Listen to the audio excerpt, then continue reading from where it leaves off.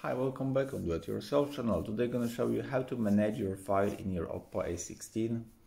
To manage your file, go, uh, to the all of apps and next search for the file manager. Yep, and there is a category about your files in the phone. For example, there is download, files, archive, applications, document, audio, video, and photo all of the uh, mm, files you can of course copy. Yep move send and more. Yep.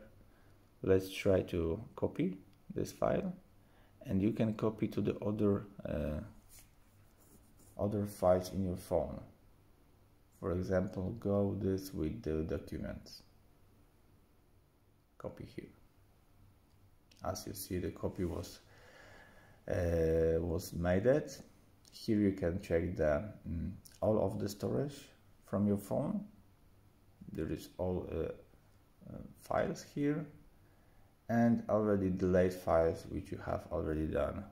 Recent.